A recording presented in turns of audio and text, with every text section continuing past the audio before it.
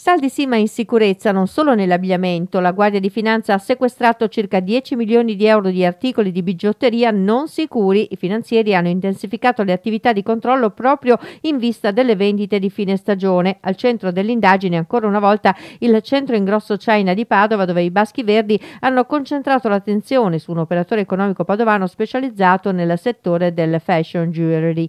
Da inizio settimana è stato bloccato e sottoposto a sequestro un intero carico di articoli di bigiotteria importati direttamente dalla Cina per un ammontare di circa 10 milioni di euro, quindi tra collane, anelli, braccialetti e catenine.